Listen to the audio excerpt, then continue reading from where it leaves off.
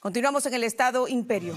Y un vehículo Tesla se estrelló contra un árbol y luego contra un edificio de Nueva York explotando en llamas. Mírelo ahí. De inmediato llegaron los bomberos para extinguir el fuego que destruyó el carro y parte del primer piso del inmueble. La policía dijo que la conductora de 70 años perdió el control por razones que se investigan y entonces chocó. Tanto ella como su pasajera de 36 años fallecieron y según las autoridades, también dos personas en el edificio resultaron heridas, pero se espera que se recuperen.